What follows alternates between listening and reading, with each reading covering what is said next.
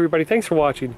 You're looking at an amazing barn find. This is a Schwinn Town & Country. It's a tri-wheeler, uh, 1968 model.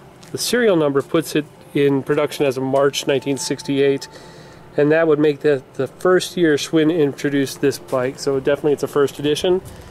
The color is the Schwinn, you know, sky blue and according to the catalog I looked up it, it was one of the two colors available.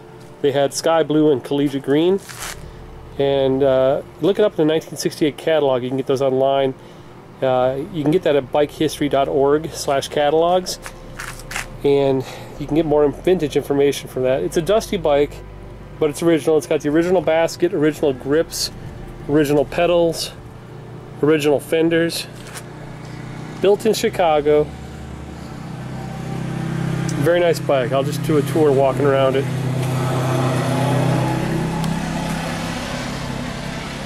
Here's the grips. You can still see the metallic flake. Kind of a bluish green. Three speed. So it's a barn find. It's not mint. But how often do you get a first edition 1968 Schwinn? I'm doing this video quick because we sold this online. We're in northern Wisconsin and a gentleman from Iowa is coming up to pick it up. And he's pretty excited to get it kind of dry rot, on the wheels. Badge is a little bit loose.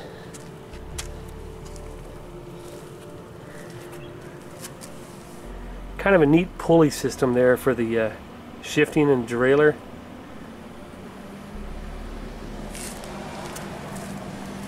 And the basket collapses down to nothing if you take the pins out, kind of a folding basket. So there you go. First edition 1968 Schwinn Adult Tri-Wheeler. Thanks for watching.